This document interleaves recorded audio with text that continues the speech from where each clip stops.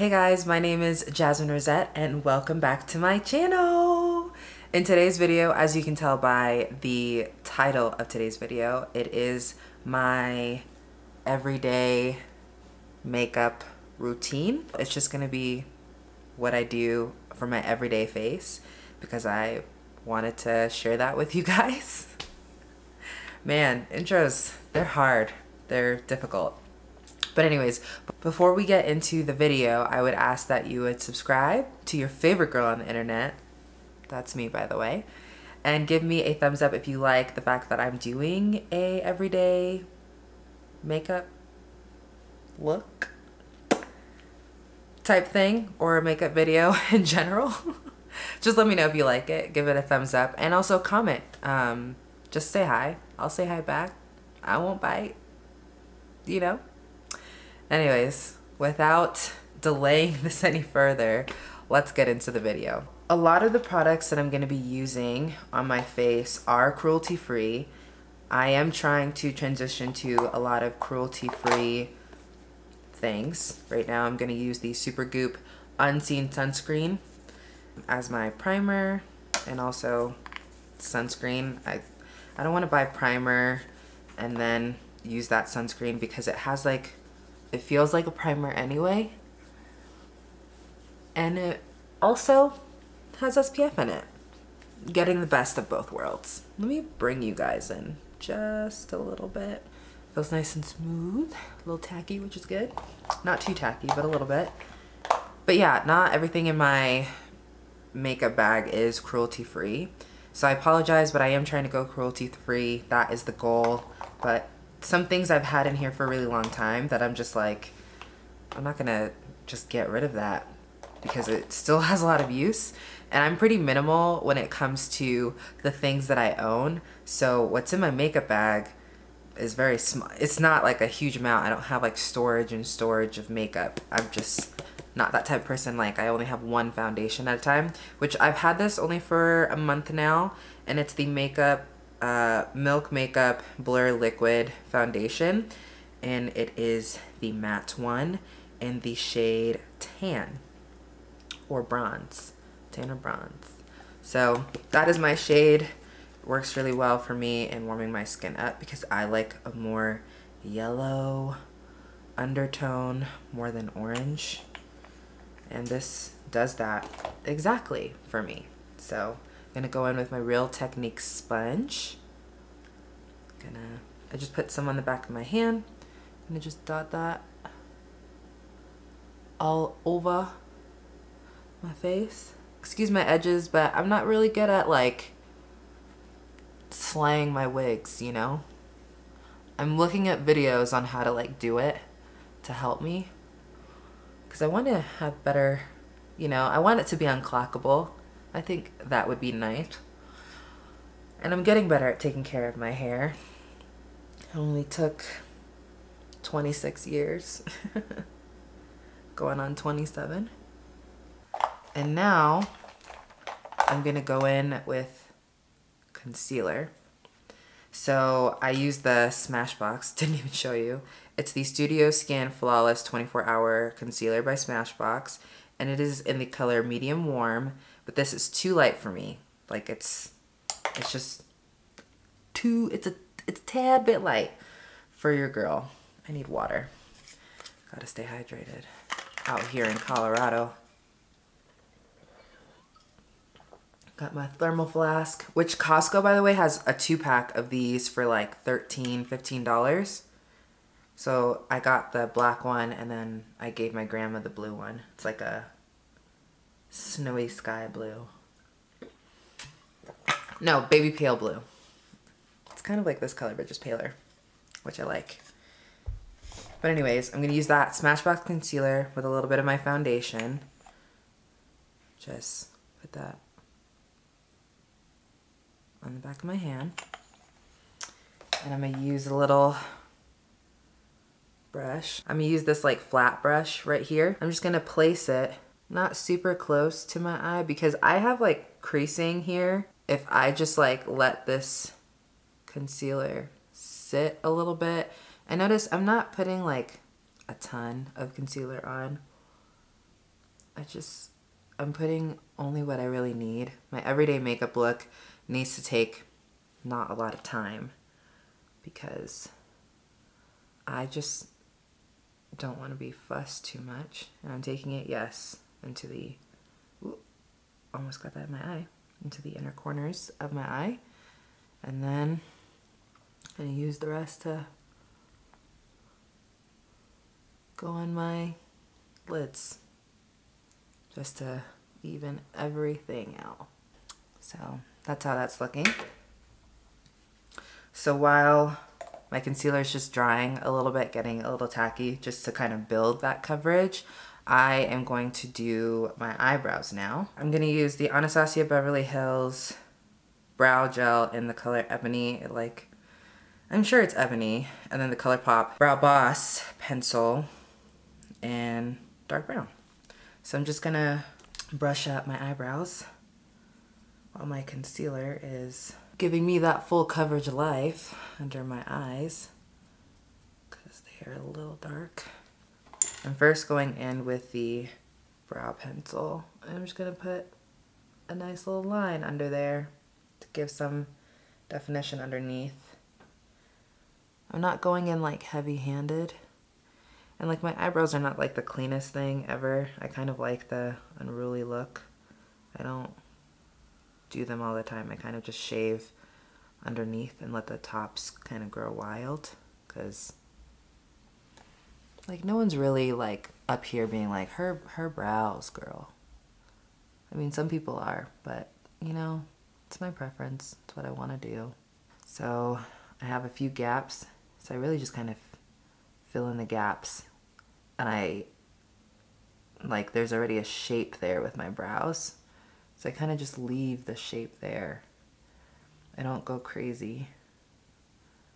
My brows do need a little bit of a trimming towards the end because they're just a little unruly. But I'm mainly trying to grow them out on the top because I feel like this is my perfect brow and this one is getting there. And then I go in with my ebony tinted brow gel. Not at the very fronts, just at the ends. Then I go towards the front. Just because I found like with this, if I go like in the front immediately, a lot gets to the front. Because this has a lot of product on it. And for a mini, I'm really liking this. I like the minis. My friend Cub is the one who got me on the mini train. Because then you can just try a bunch of products, you know? So now that my brows are essentially done, now I'm going to like blend out that concealer that we just had sitting there. And my makeup routine takes me about like 15 minutes. It does not take me that long to do. The only reason why it's taking longer here is because I'm talking you through my everyday makeup routine and the products that I'm using. It's just bounce, bounce, bounce bounce, bounce, bounce. And then I bring it onto the lid. And I make that face that every girl makes. As though we think that's really helping, but you know. And I just like, I'm all about that blending. Because I feel like the more you blend, the better. Not blend until like it's gone. But yeah, that's looking really good and smooth. Do you see? What do you think? Is it looking really good and smooth? I'm thinking so. My skin looks really good. I really like it. I go in with my milk powder. Also, this is not sponsored by Milk or anyone for that matter. I paid for all these products myself with my own money. Just an FYI. But yeah, I'm going in with the Milk Blur and Set Matte Loose Setting Powder and the color translucent medium and it works good for me. I took off the little thing that comes with it because it just annoyed me. So that's a lot there, but I do the Jackie Aina thing and I put a lot on the back of my hand.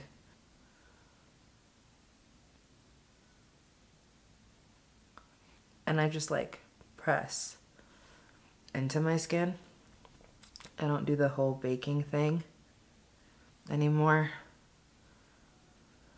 I just press so that that like powder just dissolves. And I'm gonna go back in with some more, press it on the back of my hand. And I do this all over my face.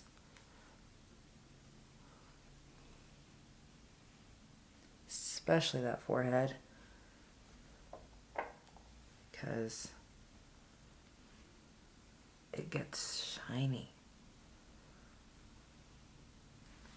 So my face is like powdered. You can kind of see a little bit of that powder. See it? See it? Still have a bit on my hand making me look ashy. I think I also got some in my eye. And I also concentrate on my mouth area. I, I have, I laugh quite a bit. So I find setting that area is, is really good. All right, I'm done with the powder. I'm, I'm done. Now, while that's like dissolving into my face, ooh, I'm gonna go in with my Lancome uh, dual finish versatile powder makeup foundation powder thing, press powder. I've had this for a long time and it's in the shade 560 Suede C. So you guys can see that right there. I'm just going in with the, I have Real Techniques brushes and then these brushes, I forgot who, oh yeah, it says right here. They're the La, La Beauté Soy, S-O-I, So. But they're like completely ethical and sustainably made and they're fair trade, which I love. So I'm gonna start using those brushes. I got those as a gift from my friend Mel. While my powder is just like baking slash really just melting into my skin because I don't put like a lot on there. I'm just gonna go in with my Real Techniques brush. It's a multitask brush. So I'm just gonna go in and then I'm gonna go under where my cheek is. Kind of define that like a little C shape. Little C shape is what I'm doing. But you can kind of see already, like it's giving me, like here, it's more, I mean, it's not like crazy because I don't like to go crazy. I'm trying to hug my cheeks basically. And then I go in with another brush by Real Techniques. It's the setting brush. And I go in again with my little bronzer contour thing. And I just like swipe it.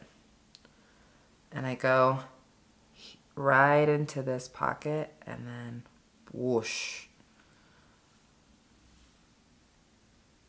Same thing on the other side. You see it just like gives more definition here. So I didn't do that, I feel like you couldn't really tell that I have a nose. Because my nose bridge is not really that defined. It's pretty flat. But with makeup, you can just make it known that it your nose doesn't like blend into your face. Because I feel like what you can really see on my face is just like the button part, like this part of my nose. You can't really see the definition of my bridge which I'm like, I just, I need a little concentration there. And yeah. I don't try to make my nose skinnier. I just go with like the bone that's here. I just go against it type of thing. And I just go in with what's left on the outer corners. Make everything a little bit more sync. See, it's coming together. It's looking good. And now, I have a lot of Real Techniques brushes, by the way. I'm Gonna go in with the 300. I've had this Real Techniques brush for a while. It's pretty old brush, but like it has like this, you know, little domey shape, which I like. I'm going to use the MAC Lovejoy Mineralized Blush. Yeah, I've like hit pan a little bit, but I've had this blush for a long time and it does me well. And I like to just like go on the top, like my apples right here, right here, but I kind of go on top of that and I just bring it. So it kind of really blends in with like my brush my what? It blends in with my um, bronzer contour shade and I just bring it all the way back and I feel like with this blush on my skin tone it's very hard to go overboard and also like blush I find just disappears so quickly so you could go a little bit overboard and still be fine. But yeah, it doesn't look crazy. It looks kind of just like melted into the skin. I'm not gonna go in with my Becca highlighter. I have definitely hit pan on this, as you can see, but there's still a lot on like the outer rings. And again, I'm using another Real Techniques brush. It's a little fan brush. It's like, you can't even tell what it is, but I kind of just swoosh and I go in at the top points. I don't really bring it down. On my nose, do another little swirl on my cupid's bow, and then I go underneath on my brow bone, the full face. And you can kind of see like the setting powder and everything is just really melted into my skin. Looking like so far. That's my skin. You can see the blush, you can see a little bit of the highlight. I don't go crazy on highlight. Um, see it on my nose, my cupid's bow. And yeah. So, and then my eyebrows, obviously done. I like that kind of bushy look for the eyebrows. I think it's, you know, more natural. And then I'm going to go in with my Boscia White Charcoal Mattifying Makeup Setting Spray as you can see, I've gone through it. But they are clean, but apparently they are not cruelty free. So, as I said, I've had this for a while. So I will be switching. And you have, I will say, you have to shake this because if you don't, you get white splotches all over your face. So if you don't shake, you get those white splotches.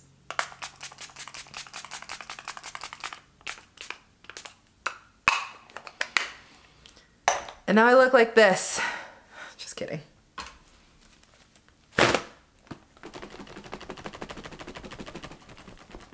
I like to use a little fan to like help dry my setting spray on my face. It is extra, but it really helps, like, you can already see it's going down. So I don't like to touch it. Ah, I'm a single ladies. Ah, I'm a single ladies. Okay, it feels dry. And now the final bit, which is the mascara. And I am using the NYX On The Rise Volume Mascara. Oh, and this is what the brush looks like, just so you guys can see. I like using a plastic applicator. I find it gives me the best volume and whereas like a brush I feel like like the other applicators just it flakes too much yeah I feel like the plastic applicators I don't experience a lot of flaking all over my face because I get really annoyed by that and with plastic applicators I find like it's not as clumpy for me personally so I prefer a plastic applicator I kind of just I like have the brush like hugging my lash and then I just blink on the on the applicator, the mascara brush. I've only had this mascara for like a couple months. I do like it. It's not bad and it's drugstore. It's very it's very affordable. Um, it gives pretty good volume. I also have really long eyelashes anyway. I like my eyelashes to look thick but I don't like that clumpy look. It gives pretty good volume. And then I don't go in heavy on the bottom. I do like bottom mascara. I know some people don't. I, this face again. I personally do. Now for the lips. I personally like a gloss. I used to hate gloss because I found that my lips just looked really big and I have big lips anyway. But now I love it. So I'm going to go in with the MAC lip pencil in chestnut. And just going to line my lips. I don't really overline because I don't personally like that look on myself. I just started accepting my big lips, you know what I mean? Big lip gang. I kind of underline on the bottom to be, because you can kind of see, I like underline a little bit on the bottom, and then, and I stick with my shape. I don't like try to create a new shape. I'm just not there yet. And I just go in a little bit thicker on the top. Kind of blend in that lip liner. And then I go in with my Fenty Beauty Fenty Glow Gloss Bomb. Really nice. Oof. That smells so good.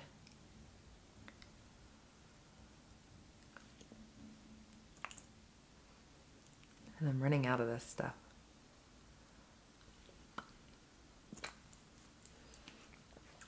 I will never not use the Fenty glosses. So yeah, this is the finished look. This is how I do my everyday makeup look. It's not that hard. I use a few products. I don't go crazy. And yeah, it's a very easy, simple, I would say even semi-natural look and it's appropriate for work. I mean, the gloss, I will say, your hair sticks to it. Should not have done that. But your hair does stick to it, um, unfortunately. But I, I do like the gloss. I like the, the look of the gloss, and I think this shade is awesome. It is a great shade. And yeah, this is how I achieve my everyday makeup look. So if you enjoyed any part of the video, I would ask that you give me a thumbs up and leave a comment. Let me know what your favorite part was. And if you have suggestions for cruelty-free products that I've used because I'm not gonna stop using the ones that I have because as I said, I'm a minimalist when it comes to my makeup collection. Collection. I don't have a lot. I just replace it as soon as it's done. And so the things that are not cruelty free, I will replace with cruelty free products going forward. And also everything I purchase myself with my own money. So none of this was sponsored, none of this was paid. No one sent me anything. I bought this all on my own accord as my choice. So yeah, if you liked any part of this video, please do give me a thumbs up, leave me a comment, and subscribe to your girl. Subscribe to your favorite girl on the internet, okay? That, that is me, Jasmine Rossette, coming through with an everyday makeup look. if I do say so myself. I really like how it came out. It looks really good. And I'm I'm working on not looking at the viewfinder. I just want to make sure that I'm in focus type of thing. So I'm getting better at it. I'm sorry. I know I'm getting better. But yeah, don't forget to stay kind, stay true, and stay laughing, and I will see you in my next video. Bye, guys. Please, please subscribe to my channel. I appreciate it. Ooh, girl, these lashes. Look at them lashes, honey. Look at them. Crazy. Ugh, I am starving. It's like 12 o'clock. I need to eat food. I really just want Matilda cake. I'm probably gonna go get that. I just want all the sweets. A burrito sounds so good. Yeah. I'm not sure of what I see. Cupid, don't for me. Are you telling me this is a sign? She's looking in my eyes, and I don't see no other guys. Are you telling me this is a sign?